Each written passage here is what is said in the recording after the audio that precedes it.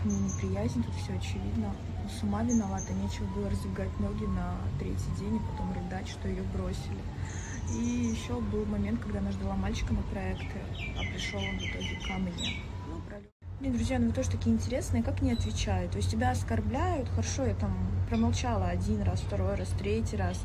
И даже после того, как на меня уже набросились, я что, должна не отвечать им, не давать сдачи? Ну, как бы все. Через неделю где-то, дней через пять уже, наверное.